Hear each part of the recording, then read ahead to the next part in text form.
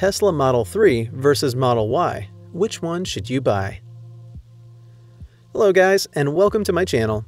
In today's video, we're going to be comparing the new Tesla 2020 models, the Model 3 and the Model Y.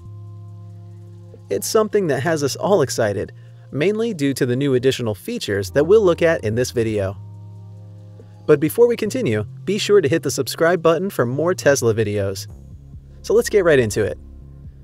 So the main difference between the Model 3 and the Model Y is the ground level clearance. Just by looking at the two vehicles, it is clear that there isn't much to separate them in design. They have the same face, same lower grille, and LED headlights. However, you will notice that the Model Y is taller. In fact, there's an extra inch of ground level clearance on the Model Y. That means it's the better choice for off-roading, the Model Y is lower and therefore great for track racing due to the lower center of gravity. Track Mode If track mode is a must-have for you, then the Model 3 should be your choice. Track mode, as the name suggests, enhances performance on the track. Here, the vehicle is lowered to increase center of gravity, and launch control is set automatically. Unfortunately, the Model Y lacks and does not include this feature. We even asked a Tesla representative about it, and there is no plan to introduce the feature on the Model Y. Rear windows. Another difference you will notice between the two cars is the darker tint on the Model Y's rear windshield. Compared to the Model 3, it is way darker. But there is a reason for this. Since the Model Y does not come with a shade or cover for the trunk region, the tint acts as a privacy measure for your cargo. On the other hand, the Model 3 has a rear deck that covers cargo in the trunk, in addition to the slight tint. Size As we've mentioned before, the Model Y is taller than the Model 3. However, it is also larger, but this might be difficult to notice due to the general resemblance of the models. The Model Y is larger and takes after the large Model X, it is 2.2 inches longer and 2.8 inches wider than the Model 3, which is something you should keep in mind when choosing between them. Additionally, it is 6.5 inches taller, which is considerably larger than the sedan Model 3. If you're often parking your car in tight spaces, the Model 3 might be the one for you. Interior Both the Model Y and 3 continue with the minimalist interior design seen in previous models. There is a long piece of wood trim across the front dash, while with a 15-inch long center touchscreen. Both units do not have speedo in front of the steering wheel. The major difference between their interior layouts lies in the wireless charging pads. The Model Y comes with a standard wireless charging pad in the phone docking area. For the Model 3, you have to pay an additional amount for this to be installed. However, this will be included in the 2021 Model 3. Type-C ports. Still on the interior, the Model Y is the first model to come with the Type-C charging ports.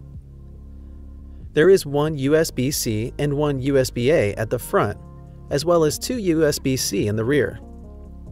With the switch to the new ports, charging power is boosted from 10 watts to 26 watts, which is quite something. The Model 3, on the other hand, features only USB-A ports, However, new Model 3s made in China have started adapting to the new ports. Differences between Model Y and Model 3 From the table, the Model 3 is much more affordable. There's also more seating capacity on the Model Y, which is what makes it a suitable family SUV. Note that the features above are for the standard models with no trims. Tesla Model 3 versus Model Y Overview and Features Tesla Model 3 2020 The new Model 3 was released in spring 2020. Like previous models, it is a sedan built for both luxury and fun, and fits in both categories perfectly. It came in three trim levels Standard Range Plus, Long Range, and a Performance trim there's also a standard range model that's available on special order. Each trim provides different driving experience, acceleration, and range. Standard Range Model First, the Standard Range Plus provides 250 miles of range. It is also a rear-wheel drive and comes with the usual 15-inch screen with a navigation system, Bluetooth, and autopilot mode. Long Range In addition, the Long Range offers 322 miles of range and is an all-wheel drive vehicle.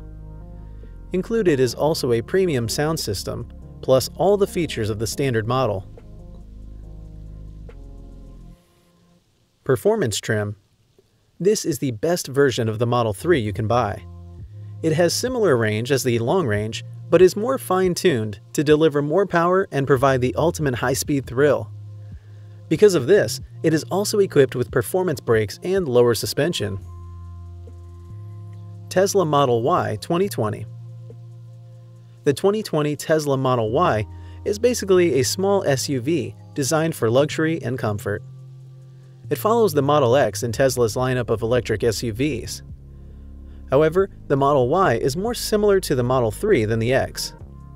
For instance, the doors open normally on the Model Y and 3, unlike the butterfly doors on the Model X. On top of this, the Model Y comes in two main versions, long range and performance trims. Long range. As the name suggests, the long range Model Y offers 316 miles on a single charge. It is also super fast, clocking just 4.8 seconds from 0 to 60 miles per hour. It is also fitted with 14 high-quality sound speakers for the ultimate music experience. Furthermore, it comes with all standard Tesla features from adaptive cruise control to lane assistance. Performance The performance trim comes with all the features of the long range with a few additional ones. First, it is faster, clocking in 3.5 seconds from 0 to 60 miles per hour. It also has full driving capability, bigger wheels, improved suspension, and brakes that drop its range to about 290 miles on a single charge. Lastly, Tesla promises a 2021 Model Y with two optional additional back seats and a new console center design. So which one should you buy? If you're looking for a daily driver Tesla on a budget, the Model 3 long range would be the ideal choice for you. Not only is it jet fast, it also has one of the longest lasting batteries on a Tesla. But if you want an all around Tesla with super track performance, comfort, and long range, I recommend the Model Y. What do you guys think? Would you go for the Model Y or Model 3? Tell us in the comment section below. Also like if you enjoyed this comparison and subscribe for more Tesla videos. Thanks for watching.